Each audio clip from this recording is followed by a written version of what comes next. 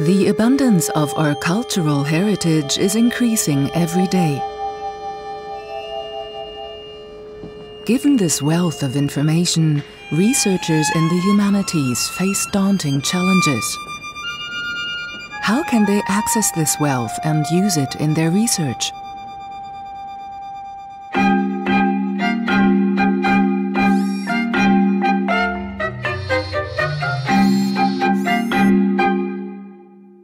A single person can read about 4,000 books during his lifetime. Even if a researcher could work continuously without interruption, he could only comprehend a fraction of currently existing knowledge. Recently, digital technologies have begun to offer additional opportunities for research.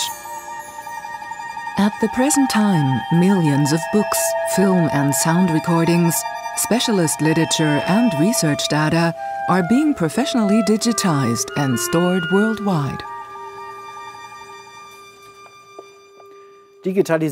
However, digitization and archiving are not sufficient in and of themselves, they're only the first step.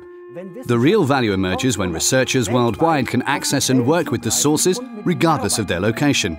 Virtual research environments make that possible.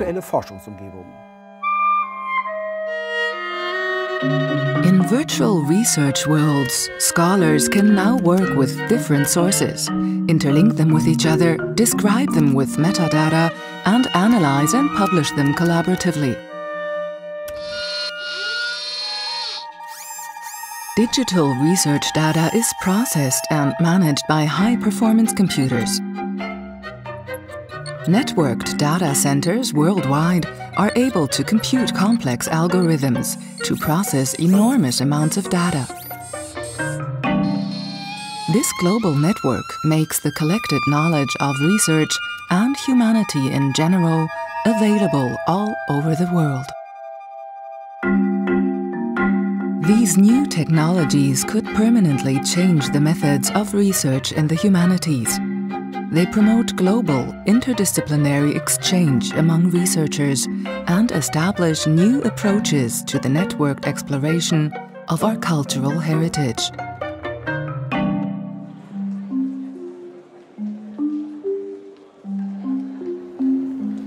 Wir haben eine Vision.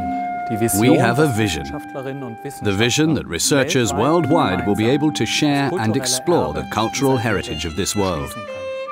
New technologies allow us to reformulate old questions in new ways and to pose entirely new questions.